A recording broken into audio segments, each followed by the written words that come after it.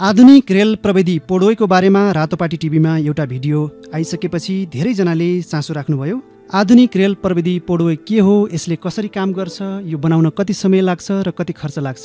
यस विषयमा पोडोयको प्राविधिक पक्षका बारेमा विज्ञ के भन्छन् त? संयुक्त अरब इमिरेट्सको दुवैमा पुगेर पोडोय चढेर अनुभव लिइसक्नुभएका लामो समयदेखि अध्ययन र अनुसन्धान गर्नुभएका विज्ञ आशिष गजुरेल पेसाले यातायात इन्जिनियर हुन्। उनले जर्मनीबाट ट्रान्सपोर्ट इन्जिनियरमा मास्टर्स गरेका छन्। यातायात इन्जिनियर गजुरेल यातायात व्यवस्थापन सम्बन्धी लामो समयदेखि बोल्दै लेख्दै र यसबारेमा ओकालत गर्दै आएका इन्जिनियर हुन्। यातायात तथा ट्राफिक व्यवस्थापनका विज्ञ गजुरेल हाल नेपाल इन्टरमोडल यातायात विकास बोर्डको कार्यकारी निर्देशक समेत हुन्। आज हामीले यस भिडियोमा पोडवे के हो यो बनाउन कति समय लाग्छ र कति खर्च लाग्छ पोडवे आयो भने नेपाललाई के फाइदा हुन्छ नेपालमा कसरी लगानी जुटाउन सकिन्छ लगायतका विषयमा छर्लङ्ग हुने गरी विज्ञ आशिष गजुरेलसँग कुराकानी गरेका छौँ। सर यहाँलाई स्वागत छ रातबार टिभीमा। नमस्ते धन्यवाद। हामीले पछिल्लो पटक एउटा भिडियो बनाएका थियौँ पड वेको बारेमा। यो प्रविधि के हो कस्तो हो भनेर चाहिँ छोटकरीमा त्यसमा जानकारी दिएका थियौँ। संसारभर रहने नेपालीहरूले अत्यन्तै रुचाउनु भएको हामीले पायौँ। र केही पब्लिकले चाहिँ यो बारेमा अझै हामीलाई जान्न मन लाग्यो भनेर कमेन्ट गर्नुभएको हुनाले आग्रह गर्नुभएको हुनाले यहाँलाई चाहिँ मैले कार्यक्रममा निम्त्याएको छु। सुरुमा पढो हाम्रा लागि एकदम नयाँ विषय पनि हो। यहाँ एउटा यातायात इन्जिनियर पनि हुनुभएकाले यो कस्तो प्रविधि हो? व्यवसायीहरूले त ठिक हो भन्छन् नै। तपाईँको नजरमा एउटा विज्ञका नजरमा आम जनताले बुझिने गरिकन भनिदिनु पर्यो। म चाहिँ यो मेरो एउटा जीवनको चाहिँ एउटा के लक्ष्य छ भन्दा यो नेपालमा चाहिँ सार्वजनिक यातायात चाहिँ व्यवस्थापन गर्ने। यो चाहिँ मेरो ठुलो लक्ष्य। यो लक्ष्य चाहिँ पुरा गर्नको लागि मैले जर्मनीमा यातायात इन्जिनियरिङ पढेको हो। मैले दुई हजार दसमा चाहिँ यो मास्टर्स सकेर त्यहाँदेखि अनवरत रूपमा नेपालमै काम गरिराखेको छु। अब यो यातायात व्यवस्थापन सडक सुरक्षा लगायत यी विषयहरूमा काम पनि गरिरहेको छु। यसमा चाहिँ कलम चलाइरहेको छु यसमा बोलिरहेको छु यसमा मैले अध्ययन पनि गरिरहेको छु रिसर्च पनि गरिरहेको छु। कति वर्षदेखि? अब दुई हजार दसदेखि। दस आज चौध वर्ष भयो। चौध वर्ष भयो। अब त्यही भएर अब मैले अब प्रविधिको त नयाँ विकास हुन्छ। अब विकास भएको प्रविधिलाई हामीले रोक्न सक्दैनौँ। जस्तो हिजोको दिनमा जुन यो कार राइड सेयरिङ चाहिँ आएको थियो। त्यतिखेर पनि धेरै विरोध भयो। मैले त्यतिखेर पनि भन्ने गरेको थियो यो नयाँ प्रविधि हो यसलाई रोक्न सकिँदैन। यो विदेशतिर सफल भइसकेको चाहिँ यहाँ पनि सफल हुनुपर्छ भन्ने थियो। धेरैले चाहिँ यो मोटरसाइकल चाहिँ कहाँ चाहिँ मास ट्रान्सपोर्टेसन हुन्छ यसले चाहिँ देश बिगार्छ भन्नु भयो होइन। अब त्यतिखेर पनि मैले भने कि ठिक हो हामी त मास ट्रान्सपोर्टेसनमै जानुपर्ने हो। तर नयाँ आएको विकासलाई त प्रविधिलाई तपाईँ रोक्न सक्नुहुन्न। भनेपछि आज त्यो पनि बढेर गइरहेको इन्ड्राइभ आयो इन्ड्राइभ आयो। आयो। अब यो राइड सेयरिङ त यो बढ्दै जाने कुरो हो। अब तर हामीले चाहिँ के हो त भन्दा यसले मात्र फेरि हाम्रो यातायात व्यवस्थापन हुँदैन। र नयाँ आएको प्रविधिलाई पनि हामीले चाहिँ सकारात्मक रूपमा लिनुपर्छ। जस्तो कसैले चाहिँ अब पोडवे विकास गरिरहेको छ नेपालमा पोडवे बनाऊ भन्दैछ भने हामीले त्यसलाई सकारात्मक रूपमा चाहिँ लिनुपर्छ होइन? अब यो बेलारुसबाट चाहिँ यसको चाहिँ सुरुवात रिसर्च सुरुवात भयो। अहिले चाहिँ तपाईँको दुबईमा पनि चार सय मिटर यो सञ्चालनमा छ। र अर्को चार पोइन्ट पाँच किलोमिटर चाहिँ अब त्यो अन्तिम चरणमा चाहिँ सञ्चालनको लागि छ भनेपछि दुबई जस्तो देश पनि मूर्ख त होइन केही सोचेरै उसले चाहिँ यसमा लगानी गरिराखेको छ भनेपछि म आफूले पनि अब त्यत्तिकै त बोल्न भएन अनि मैले पनि आफ्नो चाहिँ अध्ययन गरेपछि त्यसको टेक्नोलोजी बुझेँ। यो के रहेछ भन्दाखेरि अब देख्दाखेरि चाहिँ यो केबल कार जस्तो ठ्याक्क झुन्डेर चाहिँ हिँड्ने तर यसको चाहिँ प्रविधि के रहेछ भन्दाखेरि चाहिँ रेल प्रविधि रहेछ। रेल प्रविधि ठ्याक्क मिलेपछि चाहिँ ल इन्जिनियरिङ मिल्यो भन्ने कुरा चाहिँ मलाई विश्वास भयो। अब यतिमै क्लियर गरिहालौँ। जस्तो रेल भन्ने बित्तिकै हामीले के बुझ्छौँ त भन्दा यो दुईवटा लिगमा चाहिँ दौडिने। दौडिने। दुईवटा चाहिँ लिग हुन्छ स्टिलको जसलाई चाहिँ हामी रेल भन्छौँ। त्यहाँ चाहिँ स्टिल विलले हिँड्ने चाहिँ ट्रेन भयो। अब यो पोडो पनि ठ्याक्कै त्यही टेक्नोलोजी हो। अब यो चाहिँ भुइँमा नभएर अब आकाशमा। जमिन सीमित भएर यो चाहिँ माथि चाहिँ झुन्ड्याइएको हुन्छ। त्यहाँ झुन्ड्याउँदाखेरि पनि यो दुईवटा लिगमा चाहिँ त्यो जुन पोड हुन्छ पोडमा चाहिँ त्यो स्टिलकै पाङ्रा हुन्छ। त्यो पाङ्रा चाहिँ त्यो रेलमा चाहिँ गुड्छ र त्यो पोडलाई चाहिँ त्यहाँ चाहिँ राम्रोसँगले चाहिँ त्यो स्ट्रङ तरिकाले चाहिँ समातिएको हुन्छ। र त्यो माथि माथि चाहिँ त्यो पोडको चाहिँ त्यो स्टिलको पाङ्राले चाहिँ गुड्दै चाहिँ अगाडि बढ्ने हो। होइन? अनि अब कतिजना मान्छे बोक्ने भन्दाखेरि तपाईँले माथि बनाउने रेल कति बलियो बनाउनुहुन्छ कति स्ट्रेन्थको बनाउनुहुन्छ र तपाईँले जुन पोल गाड्नुहुन्छ त्यो कति स्ट्रेन्थको बनाउनुहुन्छ? त्यो अनुसारले दुईजना बोक्ने पोड पनि बनिरहेछ चारजना बोक्ने छजना बोक्ने आवश्यकता अनुसार पचासजना बोक्ने बहत्तरजना बोक्ने पनि पोड हुने भयो। त्यस्तै सामान बोक्ने पनि चाहिँ तपाईँको चाहिँ पोड हुने भयो। भनेपछि इन्जिनियरिङ यसको मिल्यो। अब म प्राविधिक मान्छे इन्जिनियरिङ मिलेपछि ल यो प्रविधि चाहिँ अब हुन सक्ने चाहिँ सम्भावना मैले देखेँ। तपाईँले अरू संसारका कुन कुन देश भिजिट गर्नुभयो यो पोडवे हेर्नका लागि कहाँ कहाँ जानुभयो? अब अहिले पोडवे भनेको एउटा बेलारुसमा छ भन्ने छ र अर्को दुबईमा हो। र म आफू चाहिँ यो विषयमा मेरो जीवनको लक्ष्य नै सार्वजनिक यातायातलाई व्यवस्थापन गर्नु भएपछि त यस्तो नयाँ प्रविधि त म हेर्ने भइहालेँ। त्यही भएर म दुबई गएर आफै हेरेँ। र आफै प्रयोग पनि गरेँ। र यसको चाहिँ प्राविधिक विषय पनि बुझेँ। र यसको चाहिँ सञ्चालन तथा व्यवस्थापन पक्ष पनि बुझेँ। यसको सुरक्षाको कुराहरू पनि बुझेँ। सबै कुरा बुझ्दाखेरि चाहिँ अब यो चाहिँ हामीले नेपाल सरकारलाई यो चाहिँ अध्ययनमा लगे लग्नुहोस्। अध्ययनबाट हेर्नुहोस्। यो हामीलाई दुवैले पनि यो पढोइबाट राम्रो कमाइराखेको छ? अब अहिले चाहिँ उनीहरूले पनि यो कि परीक्षणकै क्रम परीक्षणकै क्रममा छ। जस्तै चार सय मिटर चाहिँ सफल भयो भन्ने छ। अब चार पोइन्ट पाँच मिटर चाहिँ जुन बनाएको छ त्यसमा त मान्छे ओहोरदोहोर गरेपछि अझ झन् परीक्षण हुन्छ। भनेपछि अब फेरि आशिष गजुरेलले भन्दैमा अथवा चाहिँ अर्कोले भन्ने बित्तिकै यो ठिक यो बेठिक भन्ने कन्क्लुजनमा जानुभन्दा राज्यले चाहिँ के गर्नु पऱ्यो भन्दा गम्भीरतापूर्वक लिनु गम्भीरतापूर्वक लिनु पऱ्यो त्यो भने के हो भन्दा अध्ययन गर्नु पऱ्यो यसको प्राविधिक पक्ष अध्ययन गर्नु पऱ्यो यसको वातावरणीय पक्ष यसको चाहिँ इकोनोमिक पक्ष होइन वित्तीय पक्ष सामाजिक पक्ष सबै कुरा चाहिँ अध्ययन गरी एउटा राज्यले भ्यू दिनु पऱ्यो आज आशिष गजरेले ठिक अथवा चाहिँ तपाईँले चाहिँ ठिक भन्दैमा ठिक अथवा तपाईँले बेठिक भन्दा बेठिक होइन नि। मैले के भनिराखेको छु अनुसन्धान हुनु पर्यो यसमा। यसको पर्याप्त चालिस वर्षदेखि चाहिँ बेलारुसमा यसको चाहिँ अध्ययन अनुसन्धान भएर विकास भयो। दुबईले पनि बनाएको छ। भारतको पनि यातायात मन्त्रीले पनि हाम्रो गडकरी मन्त्रीले पनि चाहिँ यो बनाउनु पर्छ हामी बनाउँछौँ भनेर चाहिँ भाषण गरिरहनु भएको छ।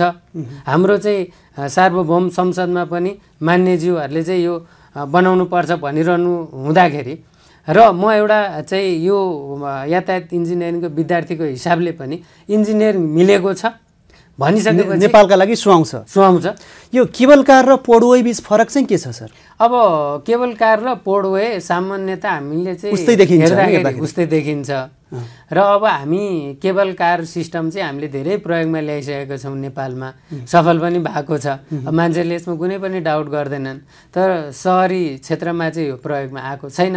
र चाहिँ यसको क्यापेसिटी हेर्दाखेरि पनि सहरलाई चाहिँ त्यति उपयोग नहुने जस्तो देखिन्छ। लग्जरी भनौँ न मन्दिर अहिले त हामी जस्तो मनोकामना जान्छौँ चन्द्रगिरी जान्छौँ। अलिक रमाइलोका लागि र शनिबार घुमफिरका लागि मन्दिर भिजिटका लागि अहिले त्यसरी प्रयोग हुँदै आएको त्यसरी प्रयोग भएको छ त्यहाँ सफल भएको छौँ। अब यो यो चाहिँ के हो त भन्दा केबल कार भनेको चाहिँ तपाईँको पोल गाडिएको हुन्छ र चाहिँ त्यसलाई थेग्ने खालको पोल र त्यसलाई खाइने रोप बनाएर त्यहाँ चाहिँ फिक्स गरिएको हुन्छ बनाइएको हुन्छ। त्यसमा चाहिँ रोप हिँड्ने हो। त्यो गोन्डला जुन बक्सा छ नि त्यो गोन्डला चाहिँ ठ्याक्क त्यो रोपमा चाहिँ बसेको हुन्छ फिक्स अनि डोरी हिँड्ने हो। डोरी हिँडेपछि त्यो गोन्डला पनि हिँड्छ गोन्डलामा तपाईँ बसेपछि तपाईँ पनि हिँड्नु हुने भयो। तर पोडवे चाहिँ के हो त भन्दा माथि रेल बनाइएको हुन्छ। अहिले पनि मैले भने रेलको लिग हुन्छ। र त्यहाँ चाहिँ पोडलाई अड्काउनलाई बलियो चाहिँ त्यहाँ सिस्टम बनाइएको हुन्छ। त्यहाँ अड्केर त्यहाँ सपोर्ट हुन्छ र रेलमा चाहिँ पोडमा भएको स्टिल विल स्टिलको पाङ्रा गुडेर चाहिँ तपाईँ अगाडि बढ्ने हो। भनेपछि यो केबल कार चाहिँ रोपवे सिस्टम भयो। पोडवे चाहिँ रेलवे सिस्टम भयो। रेलवेको कम्प्याक्ट फर्म नै हो यो चाहिँ। योभन्दा अगाडि तपाईँले चाहिँ मेट्रो रेलका बारेमा बडो एडभोकेसी गर्नुहुन्थ्यो। नेपालमा मेट्रो रेलको आवश्यकताका बारेमा बडो एडभोकेसी गर्नुभयो। अहिले चाहिँ पढवेका बारेमा चाहिँ बडो एडभोकेसी गरिरहनु भएको छ। यो फिट भन्नुहुन्छ। किन किन लोभ्यायो यो प्रविधिले? अनि यस्तो छ म अहिले पनि पोडोएको बारेमा एडभोकेसी गर्ने भन्दाखेरि पनि नयाँ प्रविधि आएको छ। त्यसलाई अङ्गाल यसलाई चाहिँ राज्यले चाहिँ अलि गम्भीरतापूर्वक लिनुपर्छ होइन? कुनै चिज नयाँ चिज आयो भने नेपाल पहिलो बनाउनु हुँदैन भनेर त कहीँ पनि लेखाएको छैन नि। अरूले गर्छन् अनि म गर्छु भनेर नेपाल बस्नुपर्छ भन्ने पनि छैन। अहिले हामी पोडो सिस्टम यहाँ बनायो भने अमेरिकामा डिस्कसन गर्छन्। पोडो कहाँ कहाँ बनाएको छ भन्दा दुबईमा बनाएको छ बेलारुसमा बनाएको छ नेपालमा बनाएको छन् भनेर। यही हेर्न यही अध्ययन गर्न पनि कति टुरिस्ट आउँछन् नि। हामी त नवीनतम कुरा सोच्नु पऱ्यो क्या। मैले नेताजीहरूलाई भेट्दा के भन्नुहुन्छ तपाईँहरू प्राविधिक मान्छेहरू नवीनतम कुरै ल्याउनुहुन्न। एकदम ट्रेडिसनल परम्परागत हुनुभयो भन्नुहुन्छ। अनि नयाँ कुरा ल्यायो भनेदेखि यसले के ल्यायो फलानाको एजेन्ट पो हो कि भन्ने लाइनतिर पनि मान्छे त्यो होइन। हामी चाहिँ एउटा प्राविधिक भइसकेपछि ठिक के हो बेठिक हो कसैलाई डर भर मान्ने म छैन म त स्पष्ट बोल्ने मान्छे हो। होइन? आज राज्यको विरुद्ध पनि बोलेको छु राज्यले काम गर्दाखेरि राम्रो काम पनि भनिराखेको छु। अब मेट्रो रेल भनेको चाहिँ तपाईँको यो त ह्युज मास ट्रान्सपोर्टेसन हो। आज पनि हामी बनाउन सक्यो भने त मेट्रो रेलको त राम्रो सिस्टम हो जस्तै हामी यातायात इन्जिनियरिङमा के भन्छौँ भने कुनै एउटा सहरमा मा चाहिँ तिस लाखभन्दा बढी जनसङ्ख्या छ भने त्यहाँ यातायात व्यवस्थापन गर्नको लागि हामी रेल सिस्टममै जानुपर्छ त्यो भने मेट्रो रेलै हो भन्ने चाहिँ त्यो सिद्धान्त प्रिन्सिपल छ।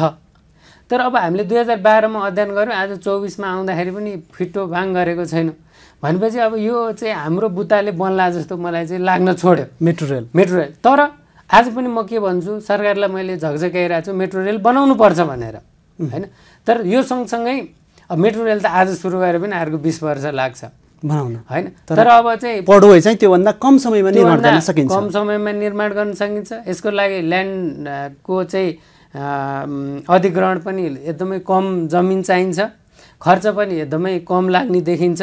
अहिले भएको रिसर्चको आधारमा मेरो अध्ययनले देखेको अनुसारले मैले भनिराखेको चाहिँ फेरि मैले चाहिँ यो यसको फाइनल भ्यू त नेपाल सरकारकै अध्ययनबाट आउनुपर्छ तर मैले देख्दाखेरि चाहिँ त्यो हो।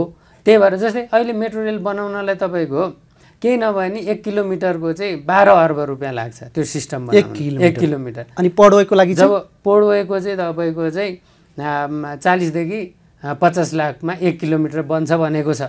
भनेपछि त यो त प्राइस त आकाश जमिन फरक फरक भयो।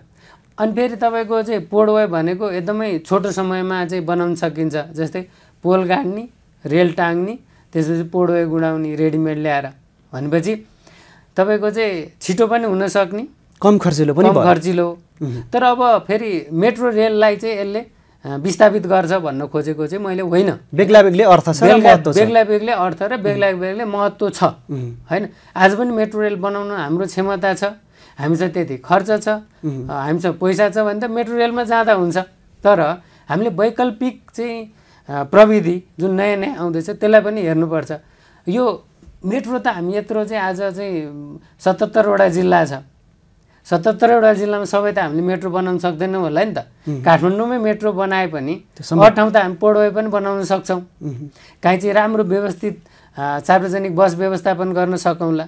विभिन्न माध्यमबाट चाहिँ हामीले सार्वजनिक यातायात अथवा यातायात व्यवस्थापन प्रणालीलाई चाहिँ व्यवस्थापन गर्नु पर्यो त्यो सन्दर्भमा पोडवे पनि एउटा चाहिँ विकल्प हुनसक्छ। मेट्रो रेल बस अ, को साथसाथै पोडवे पनि चाहिँ एउटा चाहिँ माध्यम हुनसक्छ। भनेपछि त्यसलाई हामीले चाहिँ पोजिटिभ रूपमा हेरेर राज्यले चाहिँ यसलाई विस्तृत र वैज्ञानिक अनुसन्धान अध्ययन गरेर अगाडि बढ्नुको विकल्प देख्दिनँ। अब यो पढो यदि सुरु नै गर्ने हो भने लगानी कसरी जुट्न सक्छ? निजी क्षेत्रहरूलाई चाहिँ त्यसको जिम्मा दियौँ भने उनीहरूले गर्न सक्छन् कि सक्दैनन्? कि सरकारको आफ्नै लगानी हुनुपर्छ यसमा? अब यस्तो छ अब म नेपाल सरकारको लगानी बोर्डमा पनि लामो समयसम्म चाहिँ परामर्शदाताको रूपमा काम गरेँ।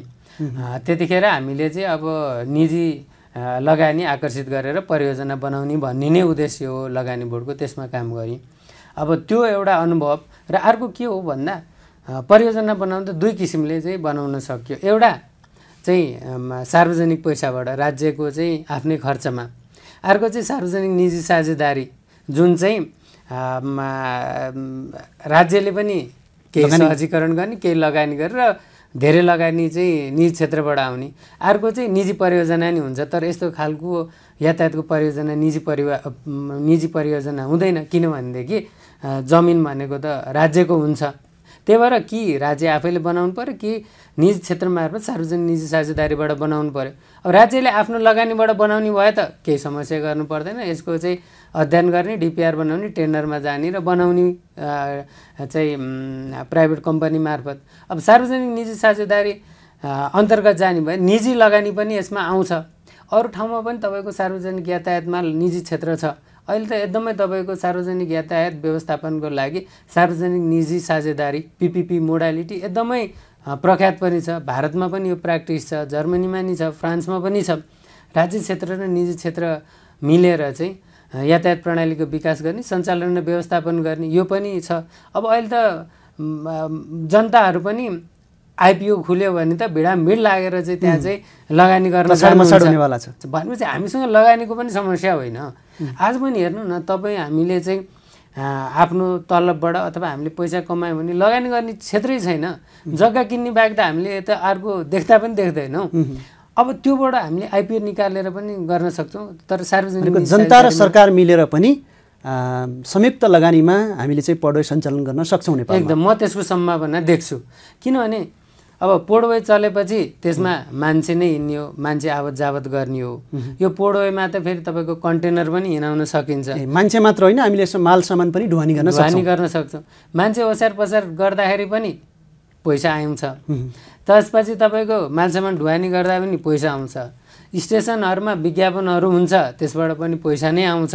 भनेपछि यसमा चाहिँ यो इन्कम जेनेरेट हुने धेरै सोर्सहरू छन्।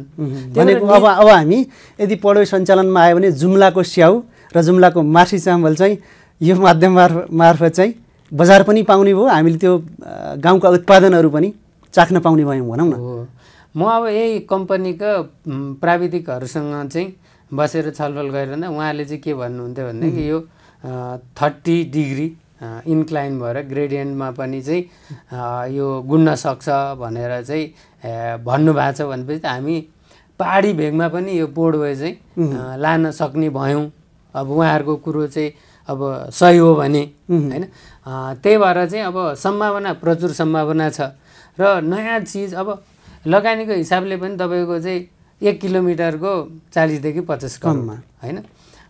त्यो त पहाडी भेगमा सडक बनायो भने पनि लाग्छ त्यति होइन? जस्तो विभिन्न पर्यटकीय क्षेत्रहरू छन् अछाममा रामारोसन छ बाजुरामा बढीमालिका छ त्यसै गरी अन्य क्षेत्रका पर्यटकीय स्थलमा पनि यो जोड्न सक्यौँ भने त पर्यटकहरू पनि त धेरै भित्राउन सक्ने भयौँ। एकदम तपाईँले भनेको क्षेत्र गोसाइकुण्ड भयो अनेक हाम्रो त यति धेरै हाम्रो त अब देवी देवताको चाहिँ स्थान मन्दिर भनेकै पाथिभरा। पहाडी- पाथिभरा हो। पहाडी त्यसरी पहाडी भेगमा हुन्छ। सुदूरपश्चिम र कर्णालीमा अझ यस्ता अझै क्षेत्र धेरै छन् होइन?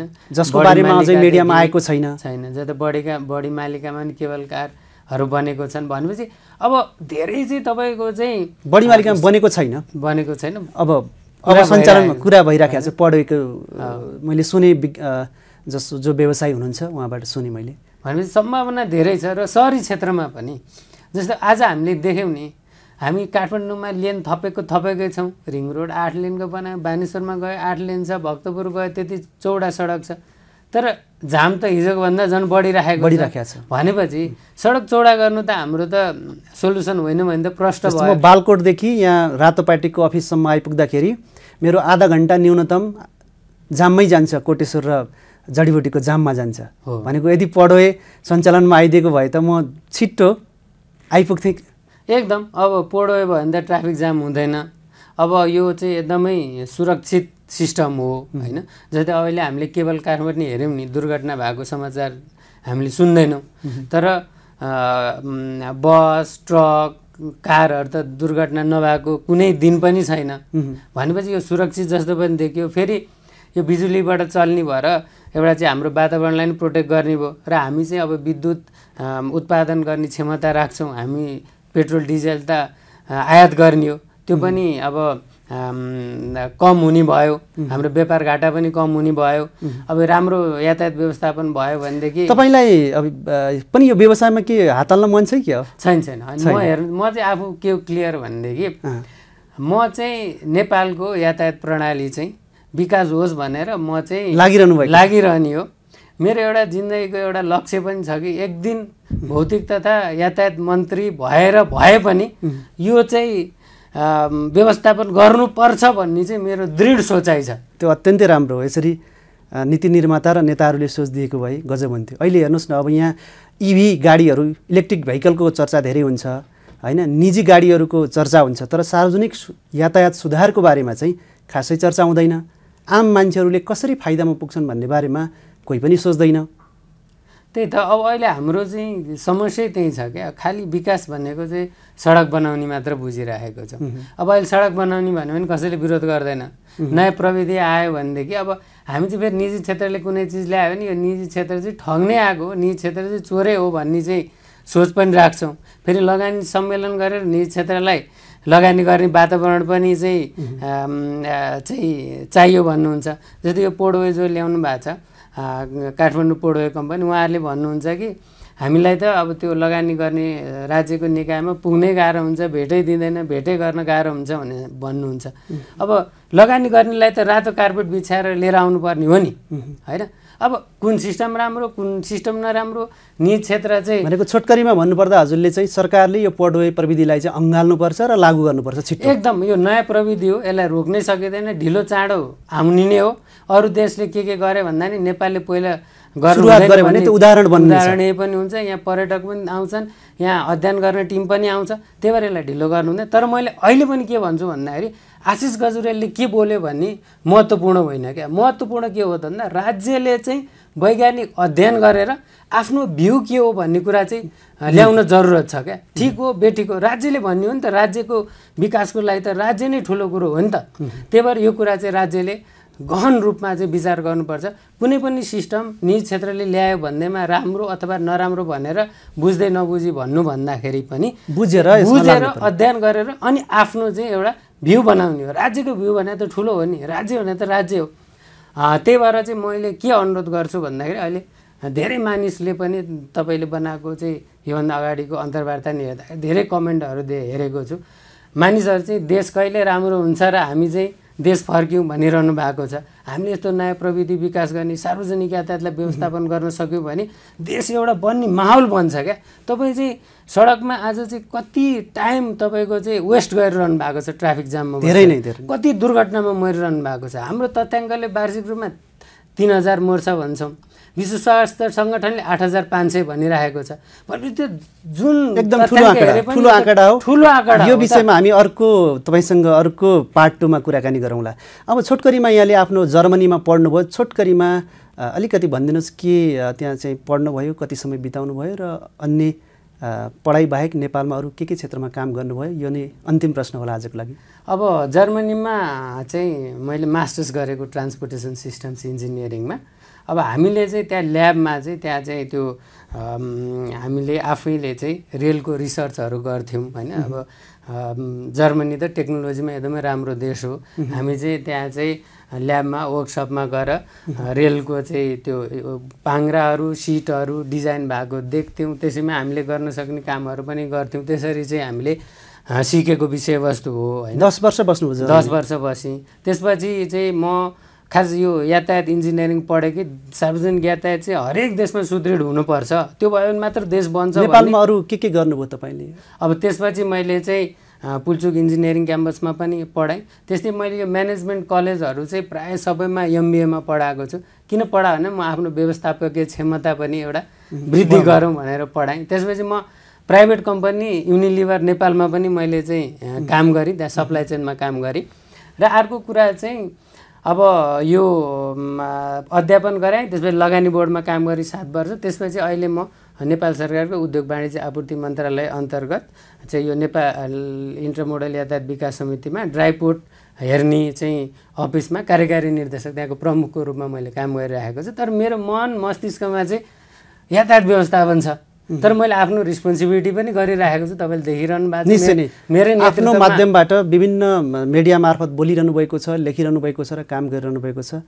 यो देशकै लागि एउटा फाइदा र देशको हितको पक्षमा छ भन्ने सबैले बुझेका छौँ।